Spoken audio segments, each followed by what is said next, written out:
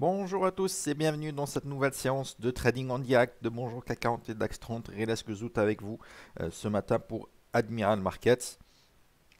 Vous êtes déjà assez nombreux présents sur le chat notamment. Bienvenue à tous, bonjour à tout le monde. Je commence comme d'habitude avec le petit avertissement sur les risques. On est là pour échanger des opinions sur les marchés financiers, montrer un petit peu comment on peut construire des stratégies, mais euh, aucunement pour offrir des signaux de trading. Il faut bien euh, le noter, comme à chaque fois.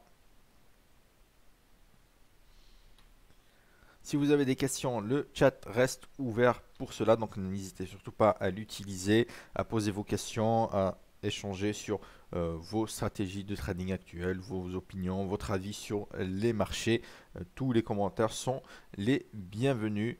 Si ce n'est pas déjà fait, je vous invite à liker la vidéo, un petit pouce bleu pour euh, nous encourager. Ça fait toujours vraiment très plaisir et ça nous aide énormément. Et si vous passez visionner la vidéo plus tard, que vous n'avez pas pu être avec nous en direct le matin à 8h30, vous pouvez euh, laisser un commentaire. Là aussi, on passe lire les commentaires et on y répond avec grand plaisir.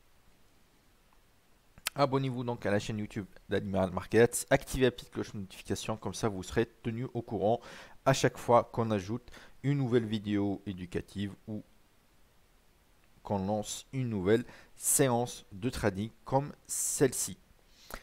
Animal Markets, c'est aussi le groupe Telegram, si vous ne connaissez pas déjà, hein, c'est un groupe de euh, discussion de, des traders de la communauté d'Admiral Markets. Plus de 1700 membres actuellement, c'est pas 1700 membres qui échangent les jours, mais il y a pas mal euh, de discussions, c'est très animé, donc euh, n'hésitez pas à le rejoindre via euh, les liens qui se trouvent juste en bas de la vidéo. Alors, on va donc commencer avec le calendrier économique du jour. Comme vous pouvez le voir, hein, il est assez chargé du côté des États-Unis. Ce matin en Europe, on n'aura pas grand-chose à surveiller, pas de statistiques influente en zone euro, mais dans l'après-midi, il y aura pas mal de choses à regarder dès 14h30 euh, avant d'entrer dans les détails hein, du calendrier économique et pour laisser aussi un petit peu le temps aux gens d'arriver. Je vais voir ce qui se passe sur le chat. Je vois qu'il y a beaucoup beaucoup de commentaires. Ça a pas mal discuté tôt ce matin. C'est parfait. Boule Davis, bonjour à tous. Jérôme, Antoine, Analyser le monde. Bonjour à tous. Analyser le monde qui nous dit hier a été une superbe journée de trading. Parfait. Ça fait plaisir quand on a ce genre de retour. On a des traders qui enregistrent hein, des gains quand ils ont de belles journées de gains comme ça. Florian, salut à tous. Salut à toi. Hubert, bonjour à tous. Cécile, bonjour. Florian, bonjour de Suisse. Il neige, il fait froid. Heureusement qu'on a de quoi s'occuper en trading. Ouais, ça s'est animé aussi ce cette nuit déjà. Euh, espérons qu'on aura une journée de, vendredi intéressante. Arnaud, salut tout le monde. HAS, Meg, Francis, Hubert,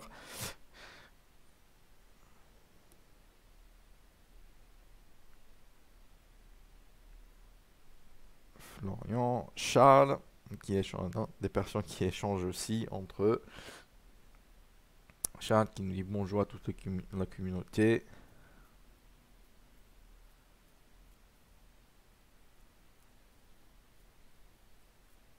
Ouais, on est presque 2000 sur le groupe, mais plus de 1700, j'ai vu ce matin.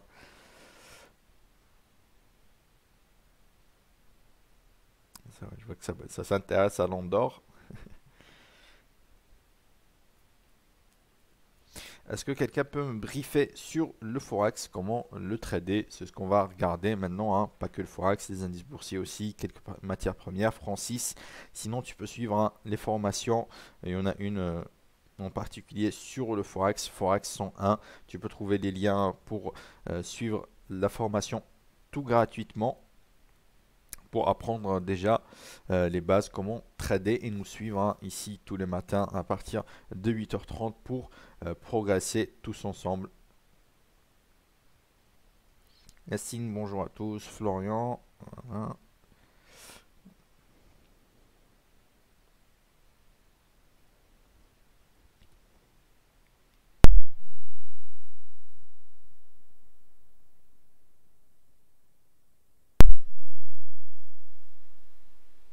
Salut à toi Zacharia. Il y a eu pas mal d'échanges. Hein. Je, je lis pas tous les commentaires. Il y a des discussions entre les membres. Du coût de la vie dans certains endroits. En Suisse, en Andorre. Jérôme, Smeg, qui nous ont rejoints.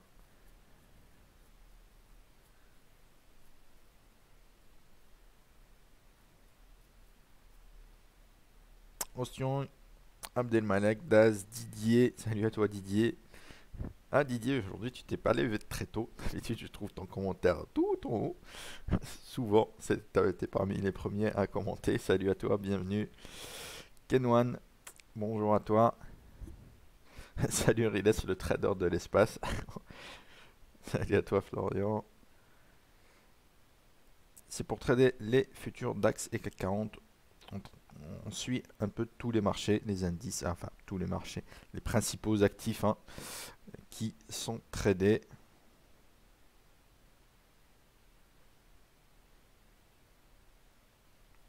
David Coyer, bonjour à tous. Inza, Alexis, Christian.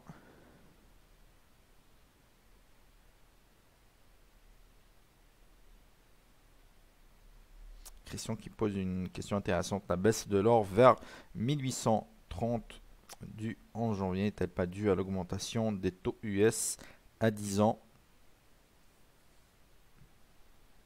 Il y a de ça, bien, évidemment.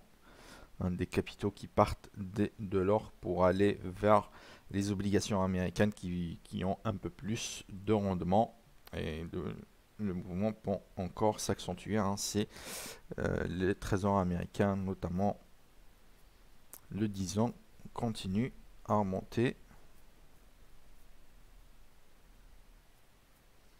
oui, tu peux suivre cette vidéo pour les débutants aussi. Et je t'encourage à suivre les formations gratuites qui se trouvent hein, juste en bas de la vidéo aussi pour progresser plus rapidement. Salut euh, Jean-Michel. Pour ouvrir ton compte, hein, tu suis juste euh, toujours, il y a tout, il y a vraiment absolument tous les liens nécessaires juste en bas de la vidéo. Tu cliques sur plus pour dérouler le texte et tu trouveras plein de liens pour t'inscrire, pour suivre la formation. Euh, je mets le lien de notre site hein, ici sur le chat. tu veux regarder plus en détail aussi.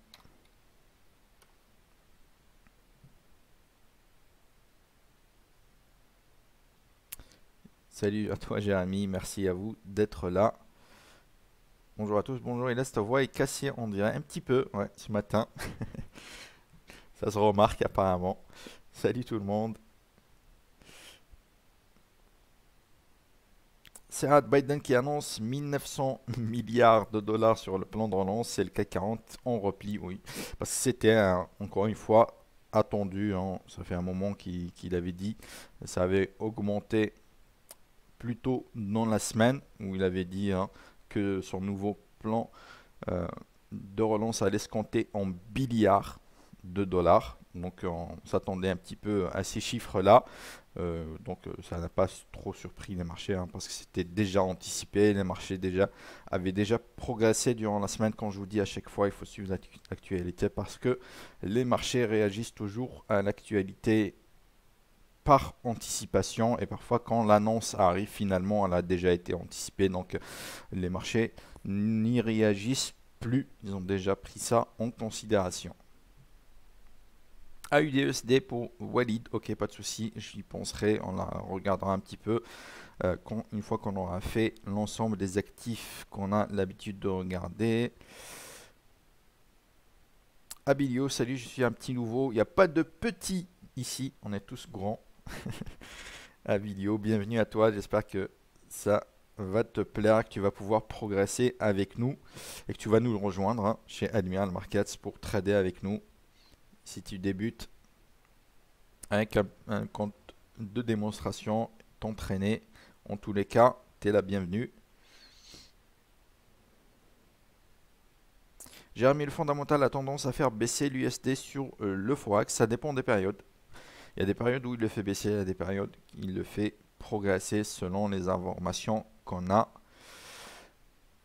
Garde Sylvain, Maya, bonjour à vous. Le WTI, on va le regarder tout à l'heure. Voilà, j'ai fait un petit peu presque tous les commentaires. On va revenir quand même un petit peu sur. Et je vois qu'il y a du monde qui nous a rejoint. Tout le monde n'est pas là. 8h30, là 8h44. On a beaucoup plus de personnes en live. Donc, c'est parfait. Donc, le calendrier de ce vendredi 15 janvier, comme vous pouvez le voir, hein, je l'ai dit, vide pour la séance européenne, mais il y aura plein de publications dans l'après-midi concernant les États-Unis. Et en premier lieu, et ça sera vraiment la statistique la plus importante aujourd'hui, 14h30, les ventes au détail aux États-Unis. On va voir ainsi la consommation. Donc, un chiffre très très important pour l'économie américaine qui a une grande importance dans la croissance américaine, la consommation. Est-ce que les consommateurs résistent bien à la crise du coronavirus? On verra ça avec donc les chiffres des ventes au détail à 14h30. Hein, ça sera vraiment la publication à surveiller aujourd'hui. Donc soyez attentifs à cela autour de 14h30 si vous tradez les indices américains ou tout ce qui est lié au dollar, l'or notamment. Donc euh, le pétrole un petit peu moins quand même, il réagit beaucoup moins aux fluctuations euh, du dollar, beaucoup moins que l'or et bien évidemment le forex. Et les paires de devises, en dollars. À la même heure, on aura aussi l'indice des prix à la production, l'IPP, et l'indice manufacturier de la Fed de New York, qui seront aussi un petit peu regardés. Peut-être moins l'indice des prix à la production. Mais voilà. Comme à la même heure, on aura les ventes au détail.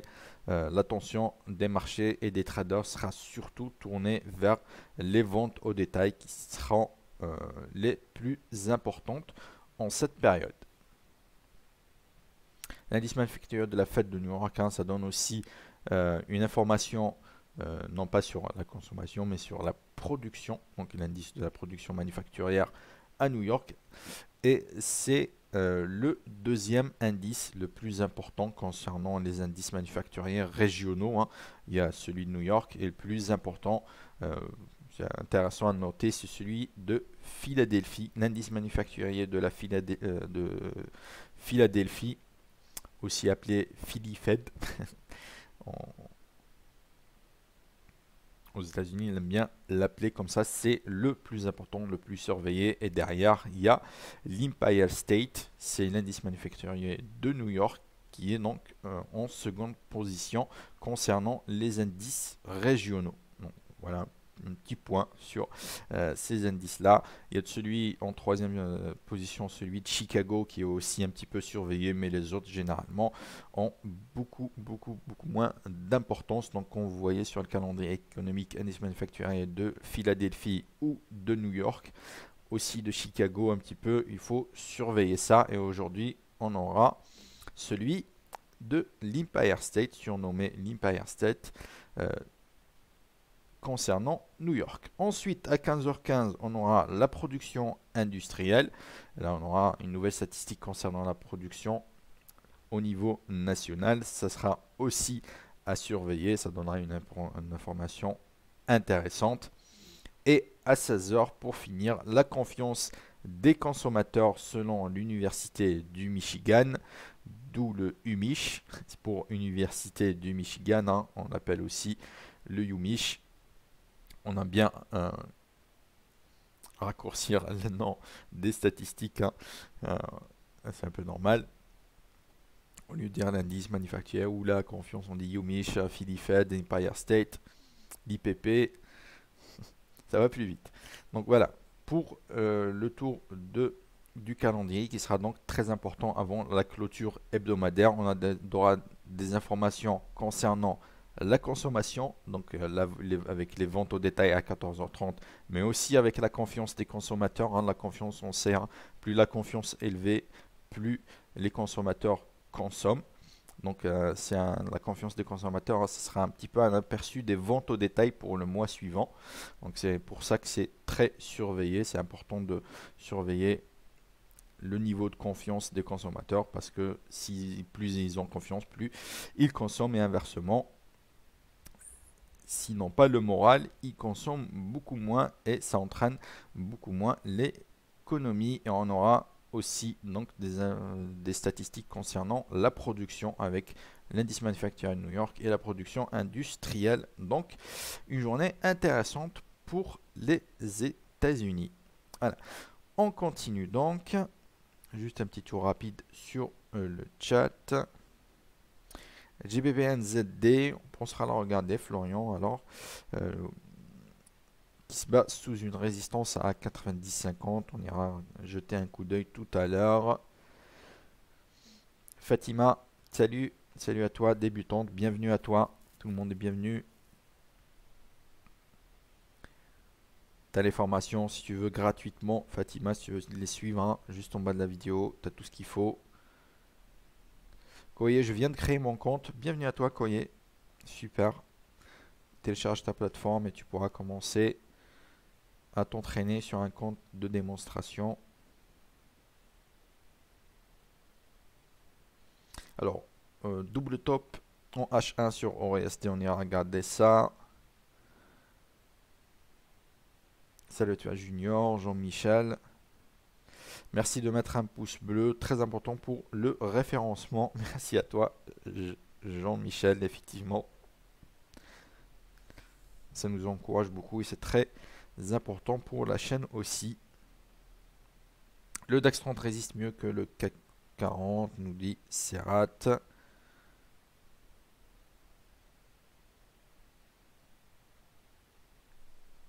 David, salut à toi. Bienvenue à toi, Yvan, Ryan aussi. Comment fait-on pour trader avec Admiral Markets via MT4 C'est tout ce qu'on va montrer maintenant. Ryan avec MT5 en l'occurrence hein, pour ma part, mais ça sera exactement la même chose sur MT4. Donc passons tout de suite à notre plateforme justement MetaTrader 5 d'analyse technique et de trading. On y ajoute en plus l'édition suprême pour avoir quelques euh, outils avancés complémentaires et quelques indicateurs qui n'existent pas euh, sur MetaTrader à la base qu'on a rajouté chez Admiral Markets. Tout ça, vous pouvez bien évidemment le télécharger en quelques clics via les liens qui se trouvent juste en bas de la vidéo. Allez, à tout de suite sur la plateforme.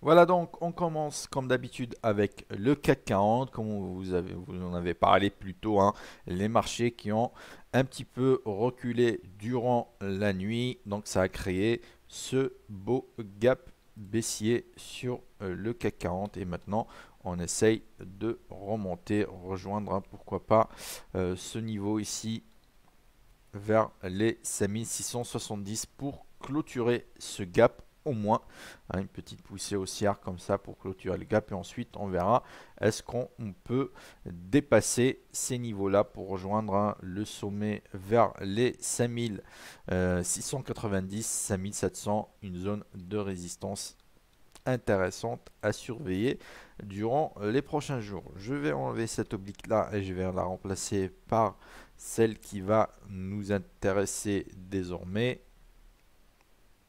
c'est celle-ci. Cette oblique-là qui a cédé durant la nuit avec ce gros gap. Là, je suis encore en graphique H1. Et le rebond, hein, on va surtout s'intéresser au rebond ce matin. Voir ce qu'on va arriver au moins dans cette zone-là. Ou est-ce qu'on va échouer en cours de route pour retomber, revenir vers le support des 5625.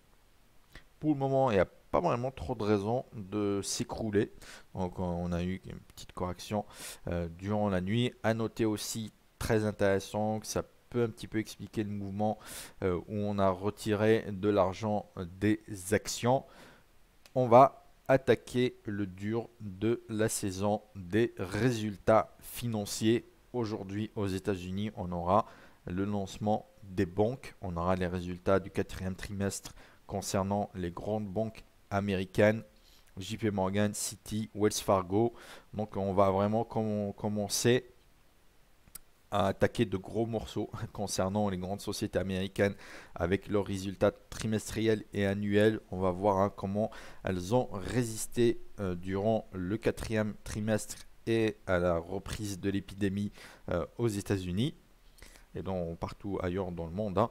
Euh, et donc ça va beaucoup jouer sur la tendance à court terme. Donc il faudra surveiller ça, soyez très attentifs à ça, ça va probablement peser sur les indices américains, même sur les indices européens par corrélation, euh, parce que hein, je vous ai déjà expliqué ça, sur les indices boursiers, tout bouge en même temps vers la même direction, pas au même rythme, mais les grandes tendances sont souvent créées aux États-Unis et elles sont suivies euh, en Europe.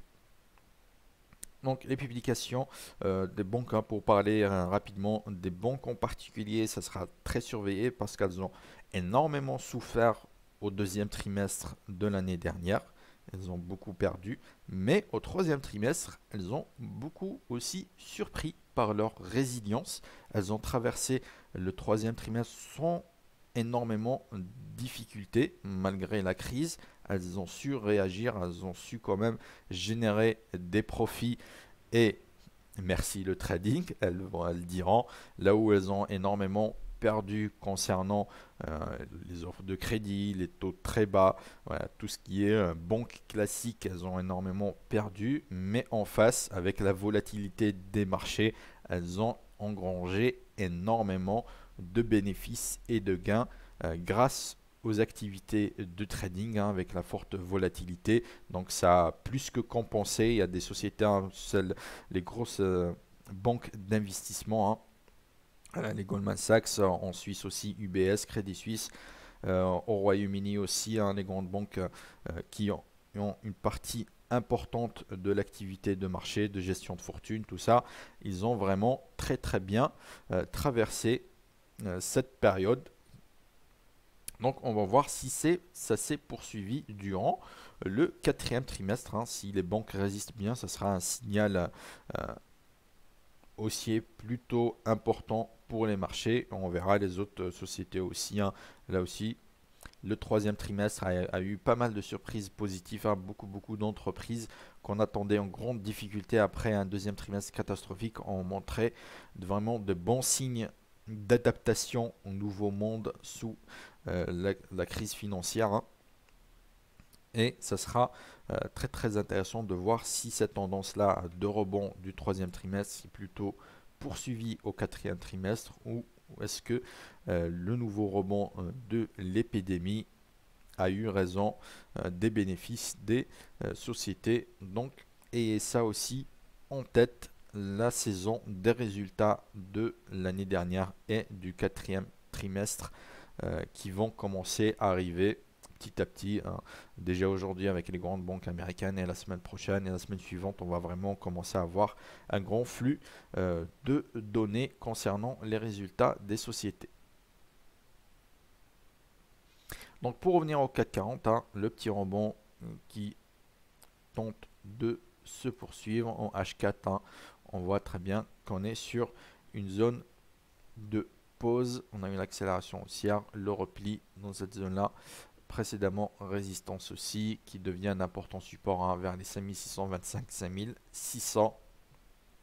Qu'on n'est pas encore allé chercher vraiment en support, à voir hein, ce mouvement-là, comment il va se produire hein, Est-ce qu'on ira monter vraiment vers cette oblique-là, clôturer le gap et ensuite revenir à la baisse Est-ce qu'on va vraiment poursuivre le mouvement haussier? Les informations du jour vont aussi grandement contribuer euh, à cette tendance-là. Sur le DAX, on va commencer avec du H4 quand même. Aussi. Et là, effectivement, cette oblique là que je vous avais dessiné mercredi, je l'avais mise là exprès, hein, ça ressemblait à un pullback, je l'avais pas adapté comme ceci, même si hein, on met une deuxième avec cette mèche là, elle a aussi été cassée, mais je préfère la première qui a été testée à plusieurs reprises. Il y a eu une première mèche et là on a eu une cassure avec clôture. Le pullback, elle a continué à jouer le rôle des résistances et maintenant le décrochage à la baisse. Ensuite, à la cassure de l'oblique. Hein. C'est pour ça que j'aime bien trader les supports, les résistances et les obliques. Hein. Comme vous l'aurez remarqué, je mets aucun indicateur. C'est une approche un petit peu euh, différente, mais c'est la mienne. Et vous aurez d'autres approches aussi avec hein, mes euh, camarades, mes amis Pierre et Faustin qui vous montrent d'autres choses. On est, à 3, donc vous pouvez avoir des opinions différentes. Hein. C'est ce qui rend la chose encore plus intéressante. Hein, nous suivre tous les matins à partir de 8h30 pour avoir des points de vue hein, toujours différents, plus enrichis les uns que les autres selon nos propres points de vue. Donc euh, si vous voulez nous suivre tous les matins, n'oubliez pas de vous abonner. La petite cloche de notification pour être tenu vraiment au courant de tout ce qui se passe sur la chaîne YouTube d'Admiral Markets. Hein. Pour rappel, en plus de ces séances en direct, on met aussi des vidéos éducatives. Hein. Si vous regardez un petit peu dans la chaîne, vous trouverez vraiment tout ce qu'il vous faut pour apprendre à trader, à utiliser la plateforme, à utiliser des indicateurs et plein d'autres choses, hein. tout l'univers autour du trading. On essaye de le traiter et on va continuer à mettre de nouvelles vidéos, mettre à jour les vidéos maintenant qui datent un petit peu. Euh, on va mettre tout ça à jour progressivement et très rapidement. Voilà donc pour le DAX qui faiblit quand même en H4 avec la cassure de cette oblique. On a cassé les pics ici qui n'ont pas vraiment offert un solide support mais on n'est pas non plus allé chercher les niveaux des 13 830, 13 770, un petit peu comme sur le CAC 40. Hein. On a faibli, mais on n'a pas cassé de niveau de support vraiment extrêmement important. Hein. On n'a même pas dépassé le dernier creux ici, sous les 13 760 hein, dans cette zone-là. Donc voilà, on faiblit, mais en même temps, on chute pas vraiment complètement.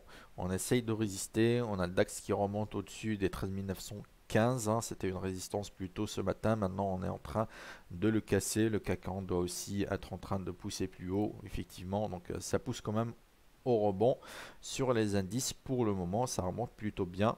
J'espère qu'il y en a d'entre vous qui euh, sont en train d'en profiter.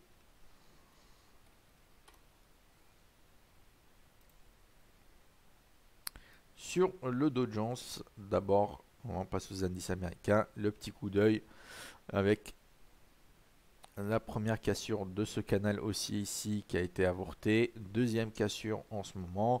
On est en, train d'avoir le pullback. Hein. On est en plein pullback. Le pullback, c'est le petit rebond hein, qui est, suit la cassure. Ici, cassure, mais ça n'a pas été confirmé hein, sur la hausse qui a suivi. On est remonté beaucoup plus fort. Et là, on va voir quand on remonte, est-ce qu'on va bloquer ici sur cette ligne-là pour rechuter encore ou est-ce qu'on va la dépasser et aller chercher les derniers sommets vers les 31 200. On saura ça un peu plus tard dans la journée et on a une journée très chargée du côté des États-Unis. On l'a vu avec le calendrier économique, hein, plusieurs statistiques à 14h30, 15h15, 16h. En plus de ça, on aura aussi les publications des grandes banques américaines. Donc ça va être une journée intéressante pour les indices boursiers à surveiller. Et euh, faites attention, la clôture du week-end cette nuit. Peut-être réduire le risque, peut-être sortir complètement du marché avant le week-end hein, pour pas porter le risque sur un week-end où vous ne savez pas ce qui va se produire et où vous ne pourrez pas réagir avant l'ouverture de dimanche soir sur le Forex et de l'ouverture de lundi sur les indices et autres marchés.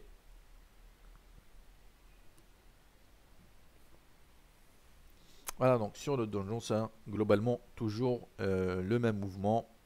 La baisse, comme on a vu sur les indices hein, CAC 40 et DAX 30, et en ce moment, ce matin, la tentative de rebond qui doit se renforcer un petit peu plus hein, pour, devenir, pour qu'on puisse devenir un petit peu plus confiant sur un retournement haussier plus durable sur les indices boursiers. Un petit coup d'œil sur le Dow Jones Nishimoku en H4 rapidement pour vous montrer qu'on est quand même posé on est allé chercher euh, le nuage hein, en H4. ici, depuis qu'on l'a traversé, on a eu une petite frayeur ici, mais généralement, le nuage a bien supporté les cours du Dow Jones. Et c'est encore le cas en ce moment même avec, hop, ce contact là et le rebond en cours. Donc, prudence euh, est-ce que la baisse va se poursuivre ou non? Pour le moment, on marque une pause sur la baisse, mais ça peut être piégeur, ça peut rechuter euh, très vite. Et comme ça peut continuer à monter, donc euh, pensez à protéger vos positions dans tous les cas. S&P 500, la même chose sur le Dow Jones, sur le Nasdaq, pardon, aussi. Hein. toujours les mêmes tendances. Je vais ajuster cette ligne là et celle-ci aussi, et on reste toujours dans ce biseau haussier sur euh, le Nasdaq qui est un peu plus propre que sur les autres indices où il y a un peu plus de volatilité en ce moment. Voilà, on a fait le tour des indices boursiers globalement. On a parlé un petit peu des fondamentaux en ce moment. C'est surtout, surtout la saison des résultats qui va arriver. Euh, vous avez tous, je pense, entendu parler du plan de relance de Joe Biden de 1900 milliards de dollars, un énorme. Hein. On savait que Joe Biden allait énormément dépenser euh, dès son arrivée. On en avait parlé. Hein. Si vous étiez déjà avec nous au mois de novembre avant l'élection, quand on avait fait un live de 4 heures avec Pierre concernant l'élection américaine, Joe Biden dans son programme dépense, dépense, dépense, la relance. Euh, donc on a identifié un petit peu les secteurs qui allait pouvoir en profiter, notamment les, ETF sur les infrastructures. On a parlé de tout ça hein. euh, avant l'élection américaine. La vidéo est toujours en ligne. Et en plus, maintenant, on a aussi le Sénat qui va pouvoir voter pour les décisions euh, de Joe Biden. Donc ça renforce un petit peu hein, son poids politique et son pouvoir de dépense.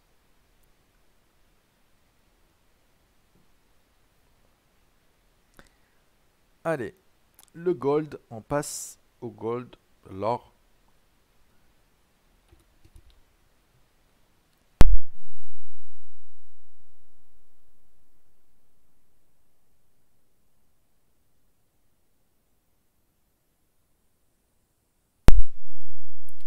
Avec le mini terminal. On va passer en journalier. Hein commencer. On a vu les grands mouvements sur l'or. Hein. On, a revu, euh, vu et revu plusieurs fois euh, ce graphique hein, en journalier qu'on suit depuis un moment sur le gold. La tendance baissière qui a marqué une pause avec notamment cette importante cassure ici. Le rebond qui a suivi. On est allé chercher le précédent pic ici et derrière on a complètement dégringolé première petite baisse qui s'est freinée sur cette oblique qui lui donne encore plus d'importance mais derrière ça a fini par céder et la chute lourde chute derrière on est revenu tester cette oblique là hein, qui était en résistance et qui devient maintenant un important support pour le moment on tient dessus et on essaye de rebondir mais je pense, hein, je vais revenir là sur le graphique H4, il faut au moins dépasser cette zone des 1862 pour devenir un peu plus positif euh, sur euh, le gold. Et si on regarde bien un peu plus euh, en détail, on peut même avoir des raisons de craindre une poursuite de la baisse.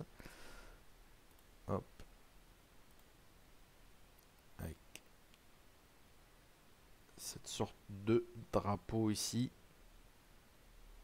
de biseau, peu importe, hein. c'est pas le plus important. Mais voilà, on a eu une tentative de rebond. Hop, hop. Et ici, on a cassé. Grosse chute. On s'est arrêté sur les niveaux de support ici. Derrière, on a fait le pullback, le rebond. On a testé le précédent support qui est devenu résistance ici. Test très net. Et maintenant, on marque un petit peu une pause au-dessus des 1850 qui est aussi un très important niveau, euh, notre revenir en journalière, un niveau euh, horizontal. Euh, j'en parle depuis un moment entre les 1850 et les 1860. Hein. ici, ici, ici, ici, ici. À chaque fois, on a rebondi. Quand on a cassé finalement ici, quand on a cassé finalement ici, hop, la grosse chute derrière. On est revenu tester première fois résistance ici, ça a tenu. Donc c'est une large zone hein, euh, entre même 1850 et 1870. Repli. Quand on a cassé ici, euh, accélération haussière, on est revenu tester comme support ici, ça a tenu. Accélération haussière. On est revenu là, on a tout cassé, on a chuté beaucoup plus euh, profondément vers les 1820. Et là, on revient tester une nouvelle fois cette zone en tant que résistance. Voilà. Le trading, hein, l'analyse technique, c'est aussi ça, repérer les zones où les prix réagissent le plus pour avoir des niveaux de réaction à la hausse et à la baisse et essayer de jouer soit euh, la tenue de ces niveaux-là, donc euh, un retournement des prix, ou une cassure et une accélération derrière. C'est ce que je préfère faire dans euh, le trading personnellement. Donc ici, on a eu, on a donc d'une part la cassure de euh, ce petit biseau, ce petit drapeau à la baisse qui donne une alerte baissière et dans le même temps on a cette grosse zone de résistance hein, entre les 1860 et les 1870 hein. toujours on est dedans plein dedans qu'il faudra au moins traverser pour avoir un retour d'une perspective haussière euh, plus ferme que cela. Donc pour le moment, on reste toujours euh, dans la perspective du retournement baissier qu'on a eu ici. On est toujours dans ce mouvement-là. On est euh, dans une pause. Hein. On essaie de rebondir un peu, mais on n'y arrive pas vraiment. Donc un biais plutôt baissier pour le moment même si on, est, on a marqué une pause, on peut encore rebondir un petit peu, aller chercher hein, cette zone 1860, 1875. Mais tant qu'on reste en dessous des 1875, pour ma part, euh, j'aurai quand même toujours un petit biais baissier euh, sur l'or, d'autant plus que le dollar commence à rebondir un peu. Oui, j'y pense. En parlant euh, du dollar, hein, il faut que je vous fasse un petit peu la suite hein, du feuilleton de la Fed depuis le début de la semaine. Il s'est terminé hier avec euh, euh, intervention du président de la Fed, Jean Powell, qui a fait un discours à 18h30 hier soir. Donc, hein, pour revenir un petit peu sur l'histoire, hein, au début de semaine, il y a des membres de la Fed, hein, la Banque centrale américaine, qui ont dit que l'assouplissement de la Fed, donc la Fed qui injecte beaucoup de liquidités dans l'économie, il faudrait commencer à ralentir ça dès la fin de l'année. Donc là, les marchés ont un petit peu réagi, les indices ont baissé, le dollar a augmenté, ce qui a aussi hein, provoqué une nouvelle baisse euh, de l'or. Donc voilà, on s'est dit, ah finalement, la Fed elle est là, mais dans quelques mois déjà, elle va commencer déjà à retirer son argent. Ça, c'est pas bon pour les marchés. Donc ils ont réagi à ça. Le lendemain, le surlendemain, il y a eu encore des membres de la Fed qui ont dit ah non, pas question, euh, l'économie a encore besoin de nous, on va pas retirer les liquidités, on va continuer même en 2022, voire en 2023 si nécessaire. Donc il y a, des, il y a eu des messages un petit peu contradictoires entre les membres de la Fed. Hein. C'est classique, hein. il y a plusieurs membres et chacun donne sa propre opinion et les marchés réagissent à ça. Et hier, euh, le président de la Fed est arrivé pour, c'est lui hein, qui a le dernier mot, pour dire non, il est trop tôt pour parler euh, d'une sortie de la politique monétaire actuelle, hein, une sortie euh, de l'assouplissement, une sortie de, l'injection de liquidités et des taux très bas. C'est trop tôt, donc on n'en parle plus. Les marchés sont revenus un petit peu comme ils étaient avant, assouplissement de la Fed à long terme pendant encore quelques euh, années. Et c'est vrai, il a dit quelque chose de très intéressant. Euh, Joe Biden, président de la Fed, il ne faut pas en parler publiquement parce que les marchés ils surveillent et les marchés réagissent à tout, à tout commentaire par anticipation, comme je vous le dis à chaque fois. Hein. la Fed qui parle déjà d'une éventualité de fin, euh, enfin même pas fin, de réduction des injections de liquidités en fin 2021, voire début 2022, les marchés réagissent tout de suite, instantanément. Donc, faut avoir un œil sur l'actualité aussi, si vous, voulez trader hein, sur des unités de temps un peu plus longues, sur du swing trading surtout. Un scalper, il regardera beaucoup moins ça, il ne reste pas longtemps euh, sur le marché, mais sur le swing trading, il faut garder un œil sur tout ça, parce que ça réagit vite et fort quand il y a des euh, annonces comme ça. Voilà donc le point sur le gold. Je vais aller sur le Brent maintenant. Avec mon graphique journalier.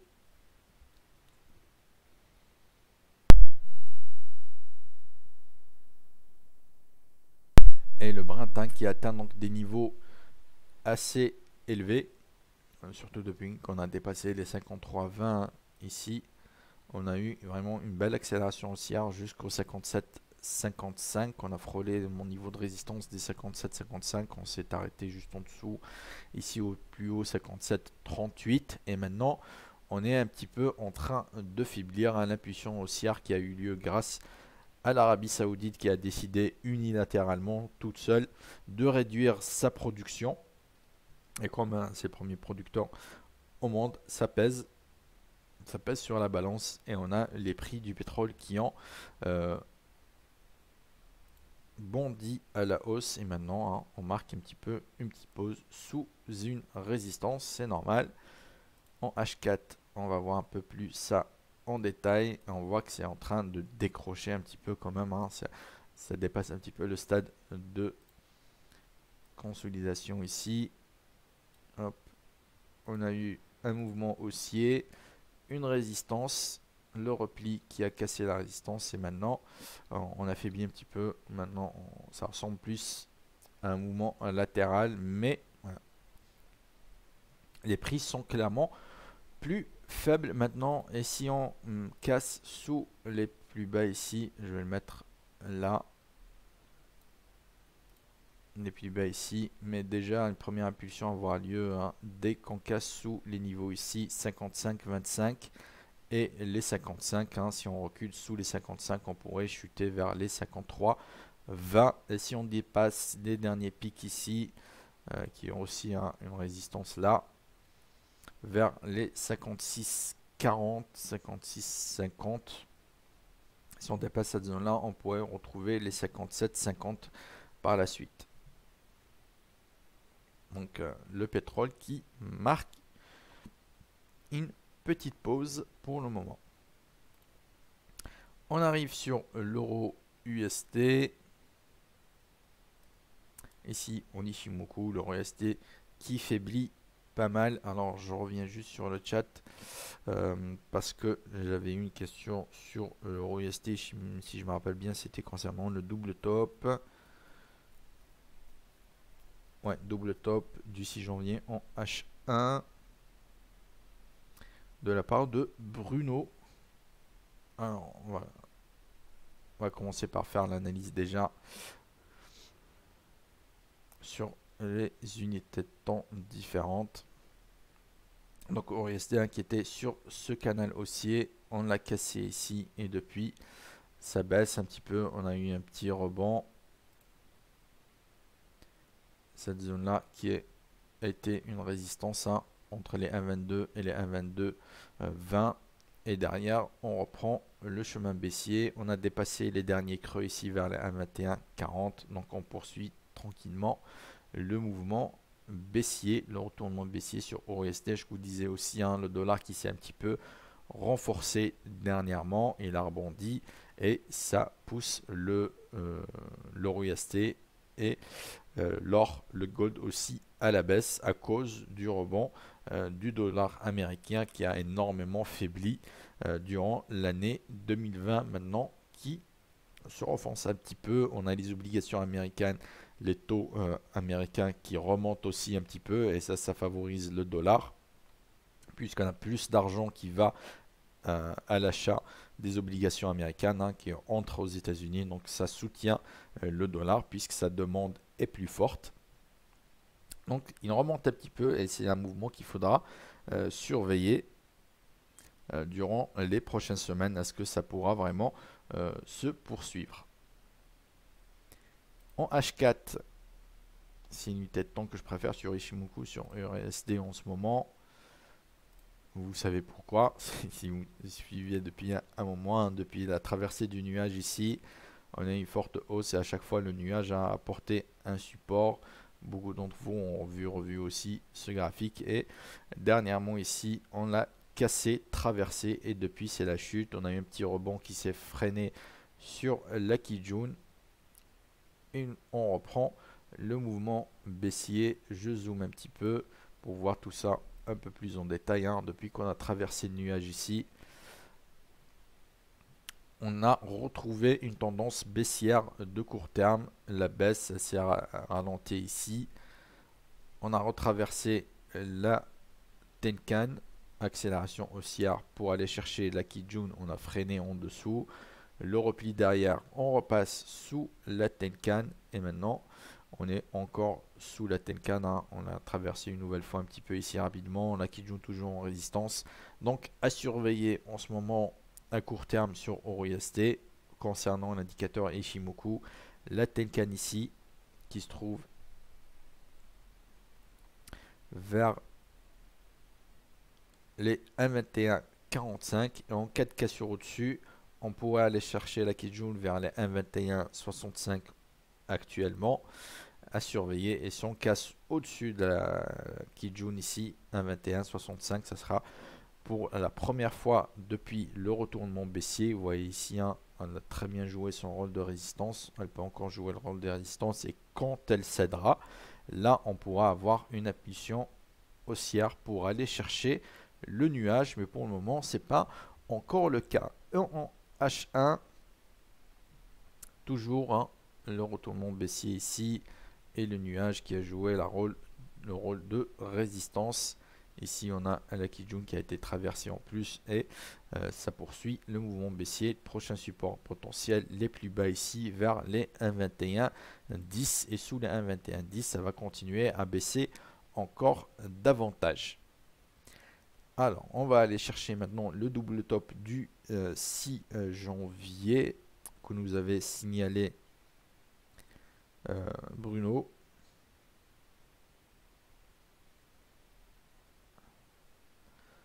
Hop, dézoomer un petit peu pour avoir un petit peu plus d'historique. Et le 6 janvier, c'était Ici, je pense qu'il parlait de ça. Ouais, c'est assez propre, effectivement. Euh, je vais enlever ça pour que je puisse rester sans que ça me renvoie automatiquement.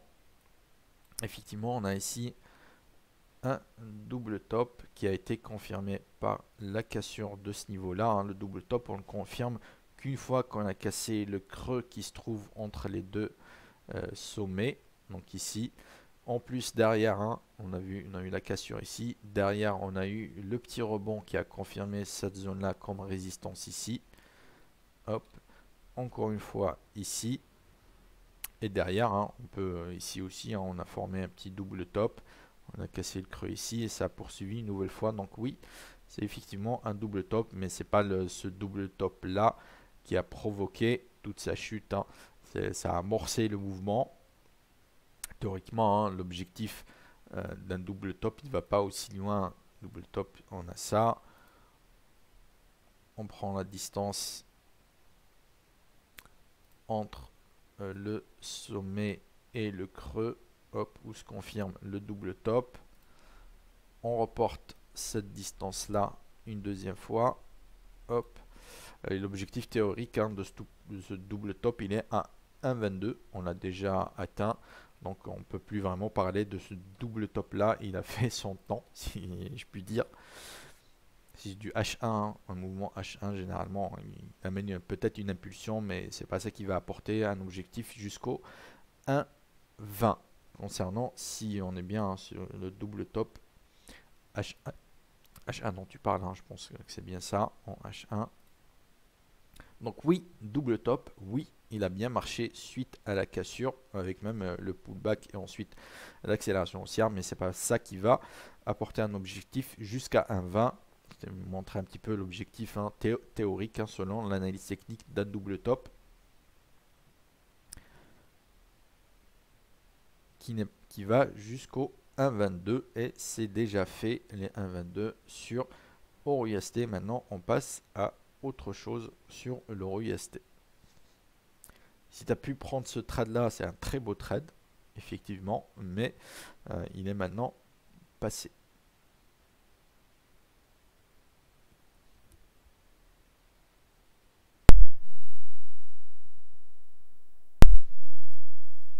Alors pour ça, euh, j'ai respecté, si on peut dire, mon engagement. J'en ai parlé. Il y a d'autres choses hein, sur lesquelles je devrais revenir aussi. On va accélérer un petit peu pour quand même finir la séance en essayant de prendre quelques trades. Voilà pour ORIST. Sur GBPUSD, on commence à enfin affaiblir un petit peu. Il a montré beaucoup de résilience, GBPUSD, dernièrement. Il est passé en graphique H4, mais toujours, toujours cette résistance des 1,37 qui ne veut absolument pas céder. En même temps, les replis, il faudra au moins revenir sous les 36,25. Hein. J'ai l'impression de refaire l'analyse de mercredi dernier. On est toujours, reste toujours hein, dans ce range entre les 1,36,25 et la 1,37 qu'il faudra casser soit par le haut, soit par le bas pour avoir une impulsion soit en direction des 1,35,15 ou plus haut pour aller chercher de nouveaux euh, sommets. Donc pour le moment, personnellement, je ne ferai rien ici. J'attendrai soit une cassure sous les 1.3625 ou une cassure haussière. Il y en a qui aiment bien jouer le range. Tac, tac, tac à l'intérieur jusqu'à ce que ça casse d'un côté ou de l'autre. On met des stop loss serrés. Dès que ça casse, on a le stop loss qui s'active. Pas grave, on enregistre une perte après avoir engrangé des gains sur les mouvements. Et derrière, on prend un nouveau trade, soit à la hausse, soit à la baisse. Après, chacun sa stratégie. Moi, j'aime pas trop jouer les rebonds à l'intérieur du range et j'attends plutôt une sortie du range pour jouer l'accélération. Et là aussi, bien évidemment, il y a des pièges. Hein. Parfois, ça peut casser. Je rentre à l'achat et derrière, ça revient. D'où la nécessité de toujours mettre un stop loss. Et généralement, je vous le dis à chaque fois, hein, quand un, une fausse cassure comme ça, une première impulsion et derrière, ça baisse. Généralement, ça accélère au moins jusqu'au niveau inférieur, voire qu'à son dessous. Donc si vous mettez pas un stop loss, que vous êtes à l'achat ici son stop loss, ça risque de faire très mal. Donc les fausses cassures, généralement derrière, pas, pas toujours, hein, mais euh, le plus souvent, on a de mouvements dans le sens inverse et ça peut faire très mal si on n'a pas de stop loss pour se protéger.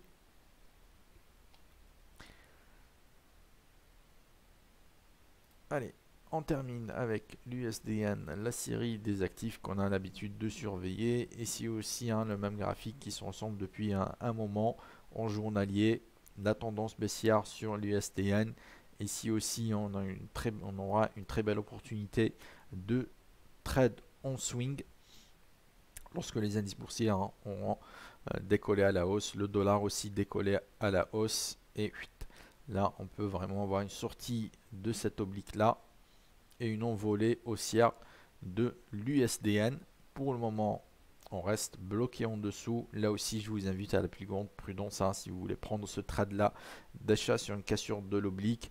On est sur des données journalières, donc euh, pas de précipitation. On attend une confirmation, une clôture d'une bougie au moins journalière, voire hebdomadaire au-dessus de cette oblique pour ensuite prendre le trade acheteur en swing trading. Mais avant, euh, faites attention à toute éventuelle mèche, comme on a pu en voir quelques-unes déjà. Et à la baisse, hein, là aussi, on reste sur cette tendance des, creux de plus en plus bas. Et ça peut se poursuivre hein, sur cette impulsion-là, pourquoi pas continuer à baisser tranquillement jusqu'au 101. Donc on peut attendre une cassure ou vendre ici sur l'oblique. Ça, c'est à chacun de prendre sa propre décision de trading. Voilà un petit peu pour le tour. Je vais aller chercher les quelques euh, instruments dont on m'avait parlé sur le chat euh, de mémoire. Hein. il y avait un GBPNZD, je crois.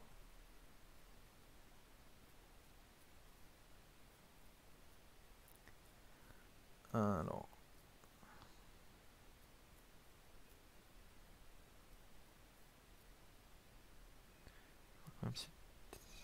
Attendez, je suis en train de regarder un petit peu sur le chat.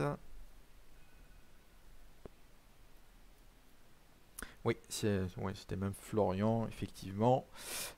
GBPNZ, NZD se bat sous une résistance. Je le vois bien aller chercher 1,90, 50. Allons voir ça. GBPNZD, je pense pas que je l'ai. On va voir, j'ai ici Afria, tout un, les canopies, vous m'avez chopé. Je suis en train de vous rédiger un petit peu un article hein, pour ceux qui voudraient investir dans le cannabis. Il arrive très bientôt. On vous tiendra au courant quand, il sera en ligne. Hein. si vous vous intéressez aux actions euh, sur le cannabis. Je suis en train de, le finaliser. Alors, pour revenir à nos moutons, GB NZD. Voyons voir ça. Afficher symbole, OK. On va le chercher dans la liste. Hop. Fenêtre du graphique. On va fermer pour mettre, laisser un peu plus de place au graphique. Je n'avais pas auparavant.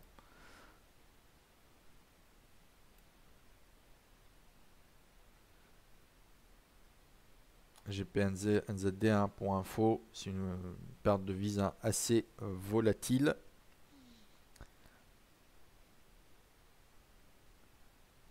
Pas du tout à scalper, hein, même vous voyez le spread, hein, c'est pas euh, les, spreads les plus bas, c'est un peu normal. Ici, on cherche plutôt des stratégies en swing trading sur des unités de temps et des amplitudes de mouvement beaucoup plus euh, importants. Alors, déjà je vois alors, je vais remonter déjà sur du weekly. Je vous présente GBPNZT comme il arrive. Donc voilà, on a eu la forte chute hein, du GBP, la livre sterling, et depuis, on a essayé de rebondir un petit peu, mais après on s'est complètement aplati. Donc Florian parle d'une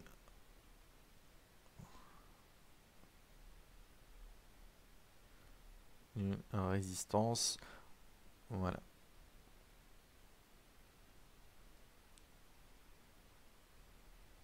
Qu'est-ce que je vais marquer? Bon, je vais faire une analyse un peu plus euh, complète quand même. Euh, le support ici des 1,9340.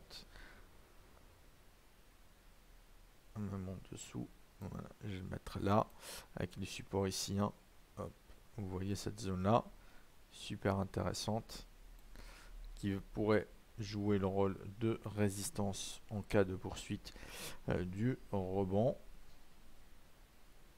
On a un niveau un peu plus immédiat, hein. je vais le mettre en journalier, ici, hop, vers les 1,90. Euh, une zone 1,90, 1,90, 10 avec les plus bas ici. La ligne de long terme, hein, elle a réagi aussi, hein. cette zone-là, plusieurs reprises. Donc, on s'est affaibli, on essaye de rebondir. On va zoomer un petit peu le journalier, il y a pas mal de machins. Attention au piège. Ça peut être piégeux, les, la cassure des 1,90. On va aller sur du H4, des unités de temps plus courtes. Oui, cette oblique là que je voulais dessiner. On va choisir entre celle-ci. Celle-ci, elle m'a l'air plus intéressante. Qu'il faudra surveiller aussi. Cette oblique baissière là, on était sur une impulsion haussière, on a eu le rejet ici, et maintenant on essaye de revenir la tester. Je vais rezoomer une nouvelle fois. voilà. Si on casse vraiment au-dessus des 90, 90, 10, on ira chercher d'abord les 1,90, ouais, 90, 45, 1,90, 50, qui va être cette oblique baissière et le sommet ici. Donc euh, ouais, sous résistance des 1,90, effectivement, si ça casse, ça peut monter plus haut en H1, puisqu'on est ici hein, sur des analyses plus court terme. Effectivement, il y a une résistance qui est en train d'être testée, et si on la casse, on pourrait rejoindre le pic ici. Si on échoue dans cette zone-là, on pourrait se replier pour revenir chercher les plus bas ici vers les 89, 20 comment je mettrai sur le GBP NZD.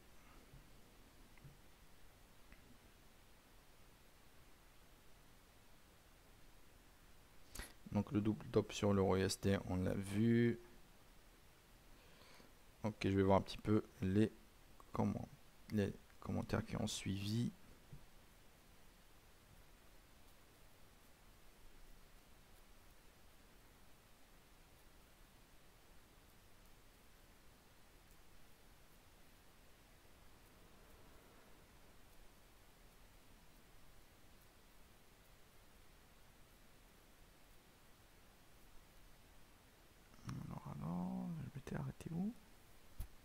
Et puis pas mal de commentaires depuis. Hein. voilà, je m'y retrouve.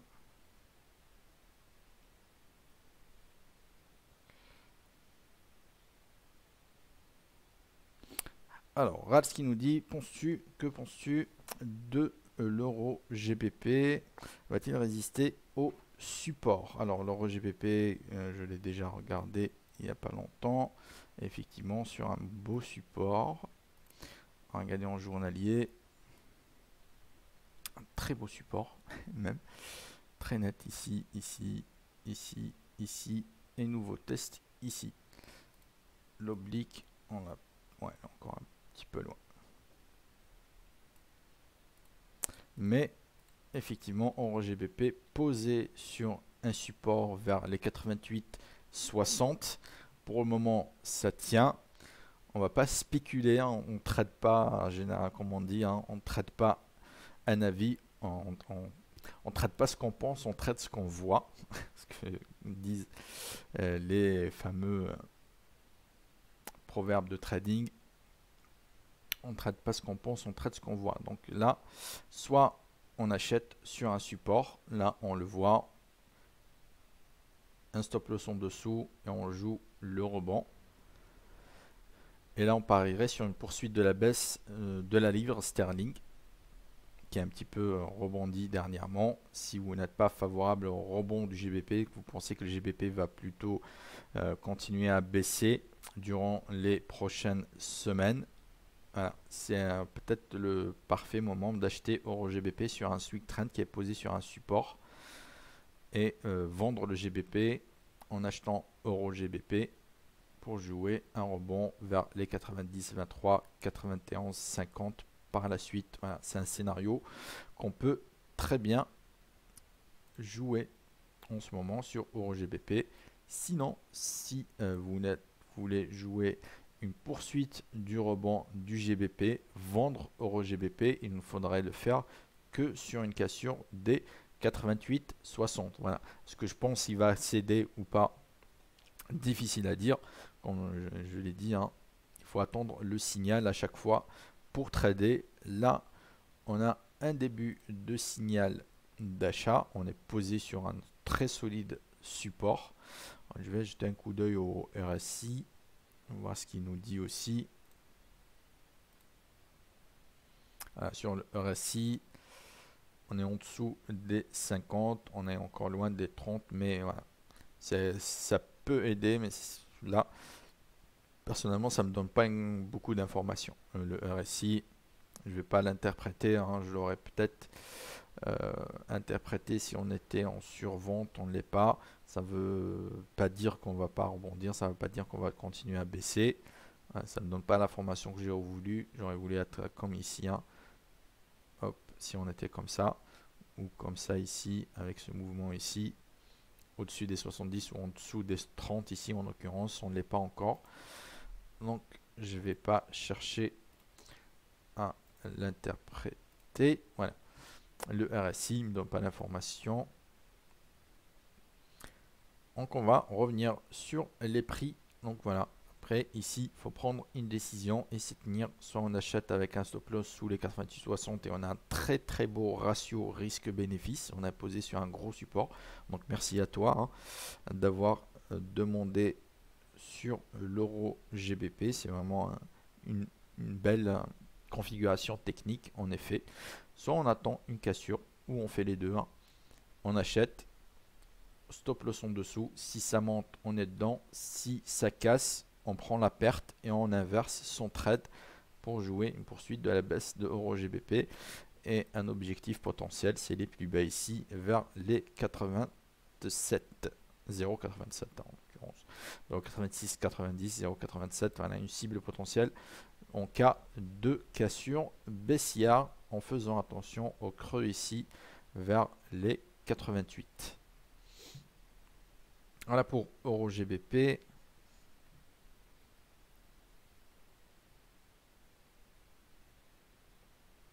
Ok Bruno, c'était bon, le bien celui-là, le double top.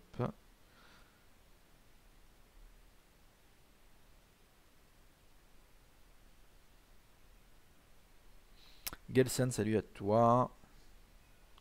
Uber, après avoir essayé plusieurs brokers, Admiral Market, c'est de loin le plus proche de ses clients. Super, merci à toi Uber.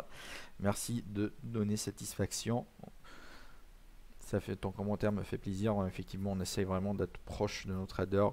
Les, les,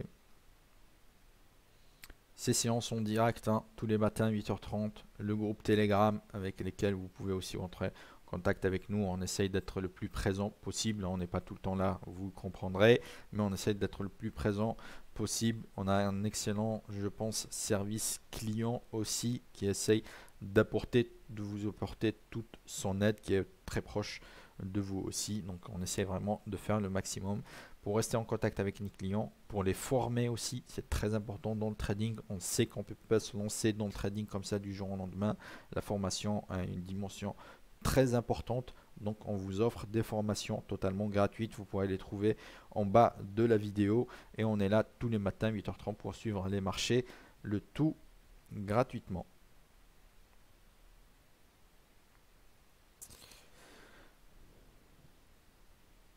Lucas, ouais, il y a des problèmes entre Mac et MetaTrader. Il y a des solutions, je t'invite à, contacter service client pour, pour te montrer quelques solutions pour utiliser MetaTrader sur Mac. Christian, oui c'est vrai, Admiral Market c'est le meilleur des brokers. Merci Christian. Jean-Michel, je te rejoins Uber à 100% concernant euh, le broker Admiral Markets. Je vous remercie pour ces commentaires, ça me fait vraiment énormément plaisir. Euh, c'est pour ça aussi, on ose vraiment entrer en contact avec vous. On est sur YouTube, on est en direct, ouvert publiquement. Vous pourriez euh, euh, mettre des commentaires hein, vraiment si j'ose dire, à casser, à descendre le broker Admiral Markets publiquement, sur le groupe Telegram aussi. Mais on a confiance en notre travail, on est là, on essaye de faire le maximum. Donc on vous laisse vraiment euh, toute la liberté d'expression pour parler d'Admiral Markets. Ici sur YouTube, en direct devant tout le monde, sur le groupe Telegram aussi, c'est ouvert. Euh, il n'y a pas que des traders d'Admiral Markets, on le sait. Donc voilà, on, est confiant en notre travail, on essaie de faire le maximum à chaque fois. Et euh, les traders qui tradent avec nous, généralement, en sont satisfaits et si je puis dire, eux-mêmes euh, sont euh, les meilleurs retours, les meilleurs avis sur Admiral Markets. On ne verrait pas énormément de pubs Admiral Markets hein, parce que derrière, on, essaie vraiment de faire un énorme travail de satisfaction pour nos clients existants. On ne cherche pas juste à ramasser de nouveaux clients via des pubs. Après, ils arrivent, hein, qu'ils aiment ou pas. Qu'on beaucoup d'autres. bon, on va sortir de ce débat-là. On va revenir sur le trading, sur ce qui nous intéresse.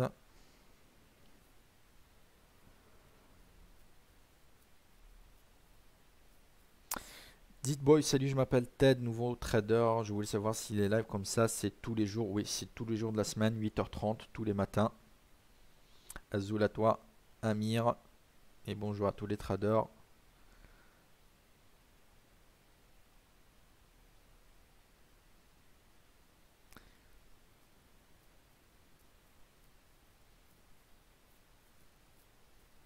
Ouais, la fin des énergies fossiles, hein, pas encore. Hein. elles ont encore de belles années devant elles. C'est la tendance, mais elles ont encore de belles années avant elles avant de s'éteindre.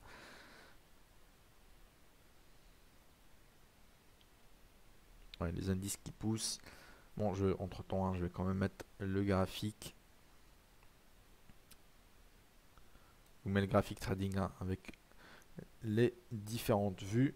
Je continue quelques commentaires en gardant un œil sur le trading.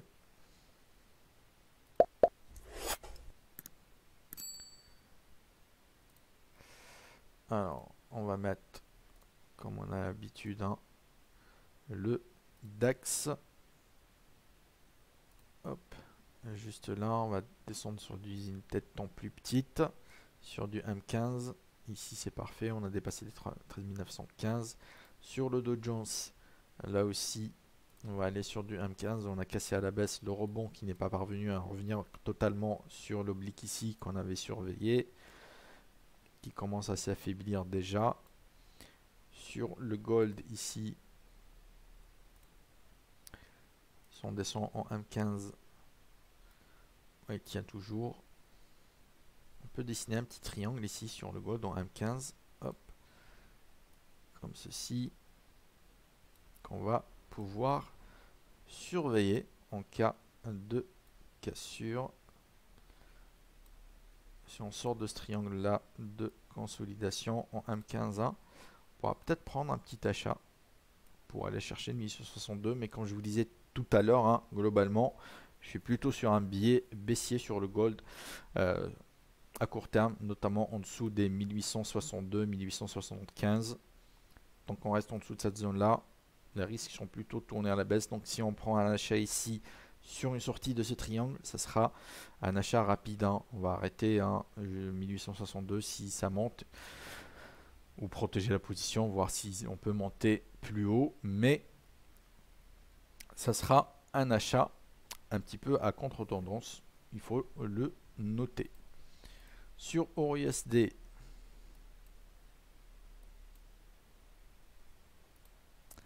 on vous montre un petit peu toutes les éventualités. on a pas mal baissé déjà. Ouais. Ici, je ferai pas grand chose dans l'immédiat. Ici, sur ORST, on a déjà pas mal baissé.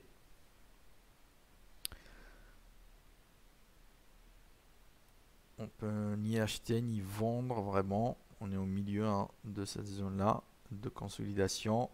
On aurait pu prendre la vente sur la Tenkan ici. Et le retournement baissier, mais c'est trop tard pour vendre. Au moins qu'on casse sous les plus bas ici, les 1,21, 20. Et encore, on, sera, on se rapprochera du seuil des 1,21. Donc on est un petit peu dans une zone où j'en peux, pour ma part, ni acheter ni vendre. Sur le DAX, on corrige un petit peu. Si on passe sous les 13 915, là, on pourrait vendre pour aller chercher les 13 880 à surveiller. Si le mouvement de repli se renforce, on va jeter un coup d'œil rapidement au CAC 40. Et effectivement, on n'est pas allé au moins euh, clôturer le gap. Et on commence à faiblir un petit peu déjà. Et le signal, ce serait un retour au moins en dessous des 5625 pour une poursuite du mouvement baissier.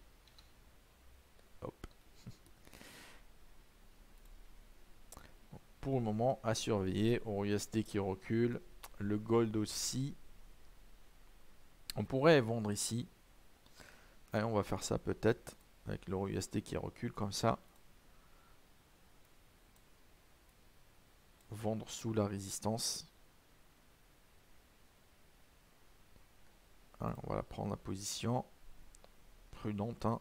Hop, un stop loss juste au-dessus d'un dernier pic, au-dessus du triangle et dernier pic ici. Au-dessus de tout ça. juste pour voir. Voilà, ok, c'est pas mal. Et on va voir, et on prendrait nos bénéfices hein, vers les 1849 ça, si ça baisse vraiment un petit euh, trade rapide de vente sur le gold alors que sur les indices ici ça ralentit pas grand chose reviens un petit peu sur vos commentaires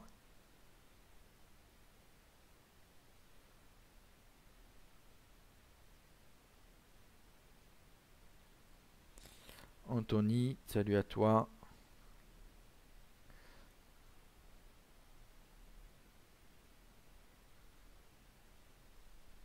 les indices qui poussent, on s'est arrêté là. Là, là, bonjour, il n'y a pas de sous-titres pour les personnes sourdes. Euh, non, euh, sur YouTube, vous trouvez parfois les sous-titres, hein, mais les sous-titres, il faut les rédiger. Ils ne sont pas généralement en direct, mais sur les vidéos, même sur nos vidéos, si vous repassez dans quelques jours après, vous retrouverez les sous-titres. Donc, vous pourrez retrouver les sous-titres sur des anciennes vidéos, mais en direct, comme ça, c'est compliqué de mettre des sous-titres, hein, les vidéos YouTube, hein, des vidéos de courtes de 15, 20, 30 minutes. Hein, c'est facile d'y mettre les sous-titres après. Euh, sur un traitement sur la vidéo, il a publié avec les sous-titres, mais sur un live comme ça en direct, c'est pas trop possible de mettre des sous-titres.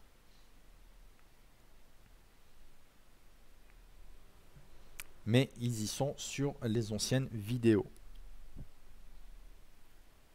Salut Marc, salut à toi. Seb, salutations. Une ETE sur le Brent, hein, direction les 54 pour Seb.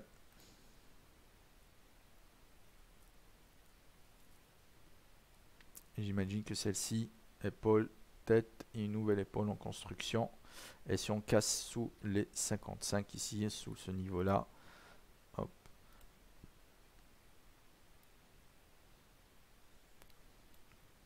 Si on casse cette oblique là, on aura le signal de l'ETE. Avec le niveau de rupture. Et comme tout à l'heure, on rapporte ça hop, ici vers les 53,20, même cible théorique de l'ETE.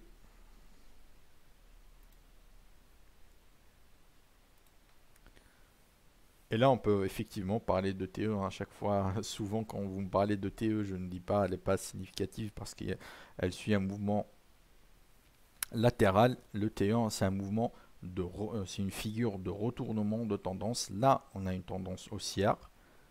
ETE, e, retournement baissier.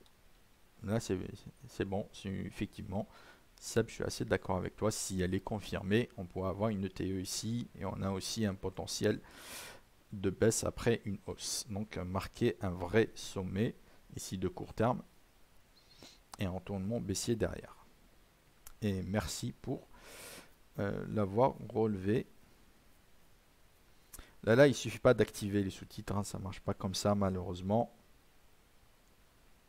Pas sur les directs en tout cas. Florian, Ouais, sur le Brent, pas mal de discussions sur le Brent, une divergence baissière. A priori, on va aller la, chercher.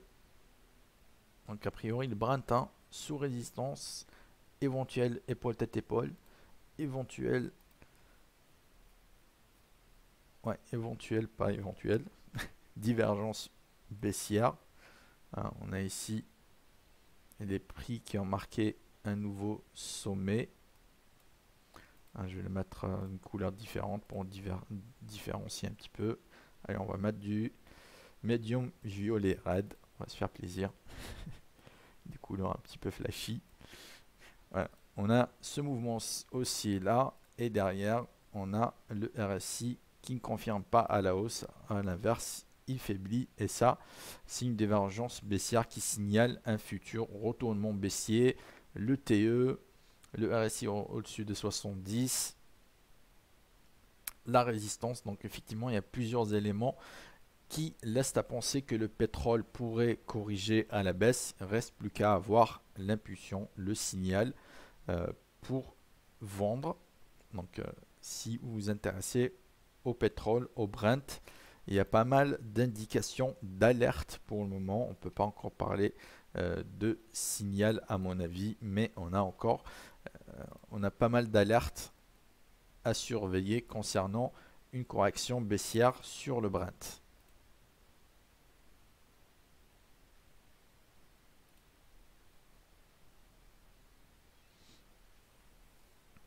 À suivre de près. Donc le DAX qui est revenu chercher les 13 915 et qui tient encore au-dessus. Est-ce qu'on ne tiendrait pas une opportunité d'achat ici sur le support Je vais prendre un peu plus de recul. On est allé chercher les plus bas ici. Je vais les marquer d'ailleurs avec un petit support qu'on va suivre plus tard qu'on va en revenir dessus. Comme ceci. Intéressant à suivre ce niveau là ici et ici. On a rebondi dessus. Et là on s'arrête sur ces résistances là aussi. Pour analyser sur des unités de temps intraday en M30 voyez ici résistance résistance un petit peu support résistance, support, support, résistance, résistance. Donc on est encore dans un range avec cette belle bougie M30 d'indécision complète. On est allé chercher la résistance, le support et on est au plein milieu, complètement indécis en intraday sur euh, cette bougie M30 sur le DAX. Donc euh, vaut mieux attendre hein, soit une sortie par le haut ou une sortie par le bas une belle configuration de range comme je les aime ici, hein, avec des cibles très claires pour du day trading. Cassure sous ce support pour aller chercher le support suivant. Cassure de la résistance pour aller chercher les pics ici. 14 000. Donc un éventuel beau trade d'affaires ici sur une sortie soit par le haut soit par le bas avec des cibles assez clairement identifiable.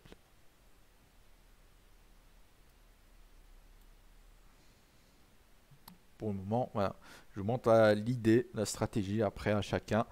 Quand je vous dis, hein, ça pour partager des configurations. Je vous partage mes configurations. Après, à vous de voir ce que vous voudriez faire avec les trader, pas euh, juste vous en inspirer, les compléter avec votre propre approche.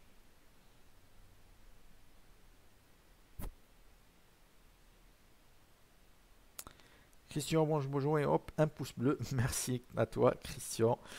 Et pour ceux qui ne l'auraient pas déjà fait, je vous le rappelle, ça nous aide énormément. Si vous voulez bien prendre la peine de faire un petit pouce bleu, un like. Un grand merci à toute l'équipe Animal Market. Merci à vous, Christian. Ça me fait plaisir. Je termine bien ma semaine. Je ne pensais pas avoir un vendredi comme ça avec euh, des compliments. Ça fait plaisir. On essaye de faire le maximum en tout cas.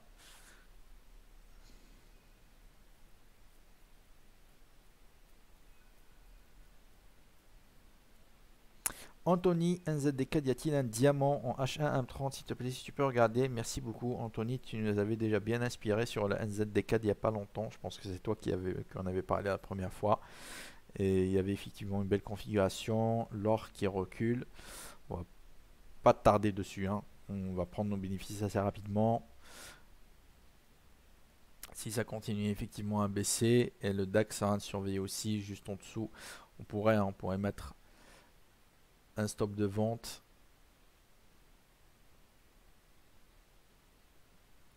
pour jouer l'éventuelle accélération baissière sur une cassure du support pour aller chercher les 13 870.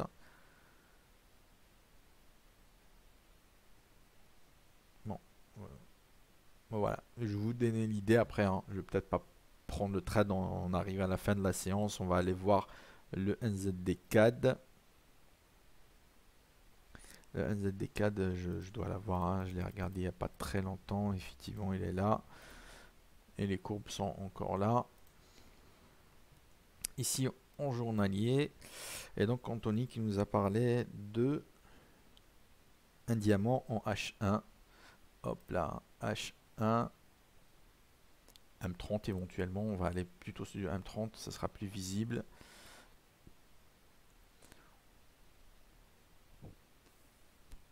Diamant, non. Je pense pas. Hein. Je vois pas trop un diamant ici, mais un orange plutôt. ici. Ouais, je vais peut-être enlever cette couleur-là maintenant. Hop. Un niveau de support plutôt horizontal.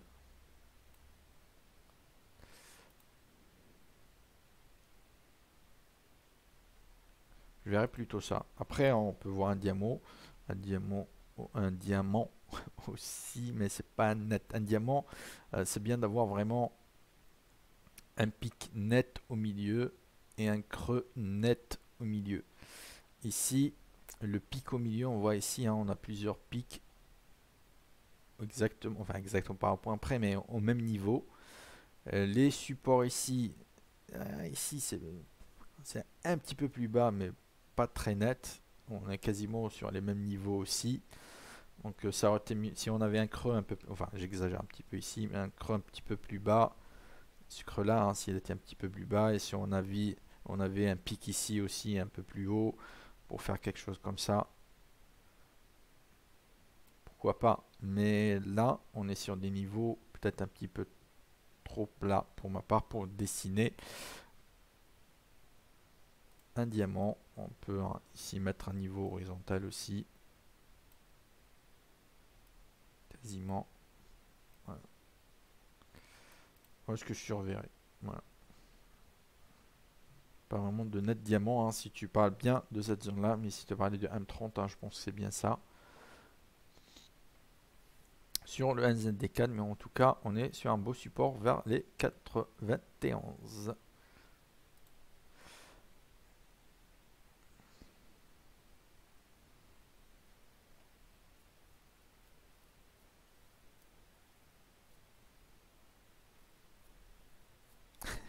Smeg, j'ai vu ton commentaire sur les actions.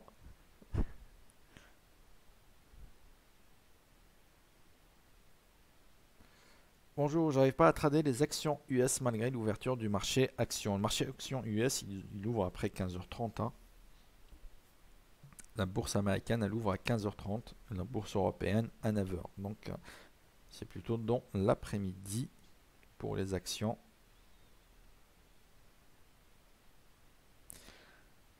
Florian qui parle de Canopy, Canopy Growth.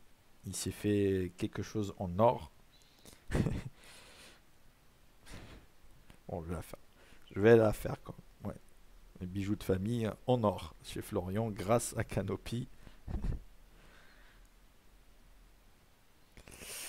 Un double top en USD, on l'a vu ici. Un double top beaucoup plus récent en USD qui se met à casser. C'est pas bon pour l'or, ça. Bon, on a le trade, on a le stop loss. On va laisser.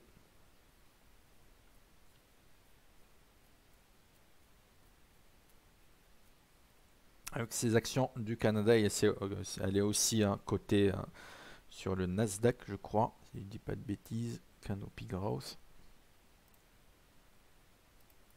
Nasdaq ou New York Stock Exchange, mais elle est cotée aussi. Bon, ici, elle est en CFD parce que je suis sur le compte trading. Hein, vous retrouverez toutes ces actions cannabis là si vous vous intéresse et plein d'autres, hein, plus de 4400 actions et ETF, hein, notamment sur la bourse américaine et notamment des actions sur le cannabis pour investir. Là, sur les CFD, c'est plus pour les trader si vous le souhaitez, mais pour investir dessus, c'est disponible aussi sur le compte d'investissement Invest MT5 de Admiral Markets. Hein. On fait aussi bien évidemment le compte titre pour investir sur les actions et les ETF à long terme, et pas uniquement du trading sur CFD et Forex.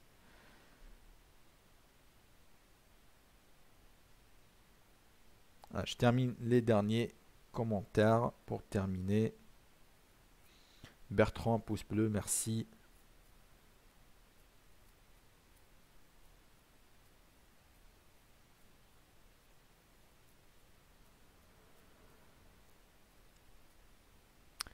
pour mettre un ordre en attente, vous pouvez soit utiliser euh, le mini terminal ici avec les niveaux indirectement sur le graphique. Sinon, vous allez dans Nouvel ordre, exécution au marché, au prix du marché ici. Vous mettez ordre en attente et vous paramétrez votre ordre en attente, un buy limit, sell stop. Vous avez, selon ce que vous voulez faire, mettre les niveaux, le volume, le prix, les stop loss, le take profit et vous placez votre ordre, tout simplement.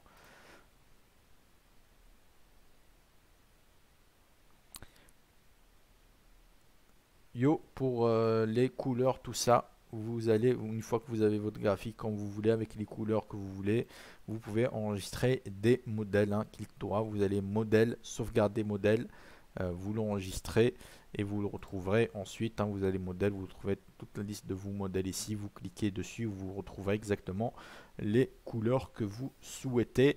Et petite astuce, hein, si vous nommez votre, euh, votre modèle default, D-E-F-A-U-L-T. À chaque fois que vous ouvrez un nouveau graphique, c'est votre, configuration de couleurs, de bougies, tout ça qui se mettra automatiquement. Comme vous pouvez le voir, à chaque fois que je lance un nouveau graphique, j'ai pas l'écran noir, vert en bougie barre complètement dégueulasse. J'ai directement mes bougies bleues, rouges, le fond Admiral Market, le mini terminal déjà ouvert. J'ai fait cette configuration là, je l'ai enregistré mon modèle, je l'ai nommé default et à chaque fois que j'ouvre un nouveau graphique, j'ai directement euh, tout ça. Pas besoin d'aller hein, tout mettre à chaque fois. Ça permet de gagner du temps, c'est plus agréable. Merci Bertrand, c'est sympa. Le pouce bleu, votre présence mérite le respect, c'est gentil à toi. Bonjour à toi Fadila et bonjour Net Trading à toi aussi.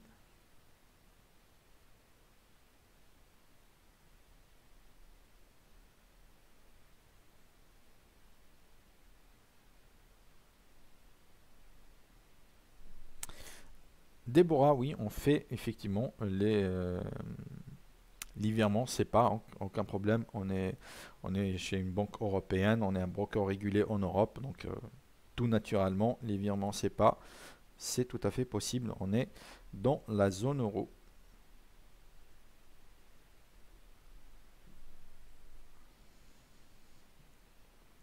Je t'invite à contacter service client d'Admiral Market s'ils te donneront un peu plus de détails euh, sur les différents moyens de paiement.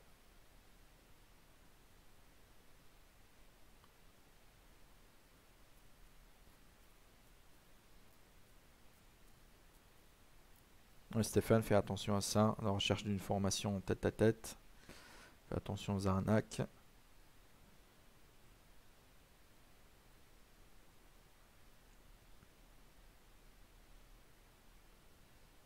Oui, des bons en Europe. On est un courtier européen.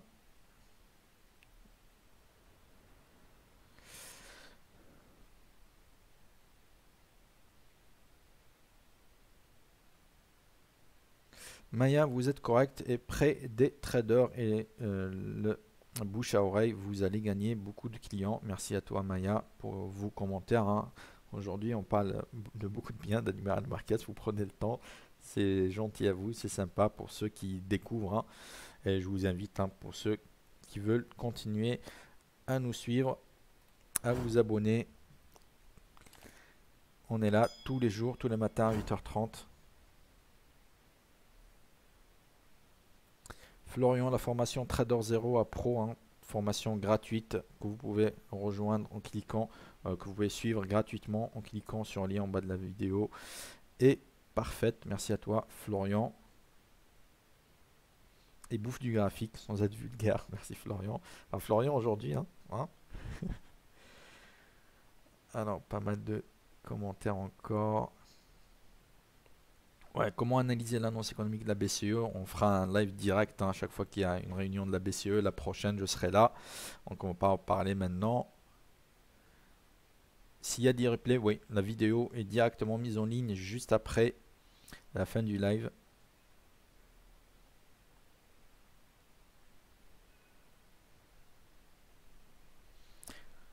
Euh, la prochaine fois, on parlera un petit peu des bandes de Bollinger euh, de mémoire Faustin, on a parlé euh, hier ou juste avant, on parle de temps en temps. Là, on arrive un petit peu à la fin de la séance.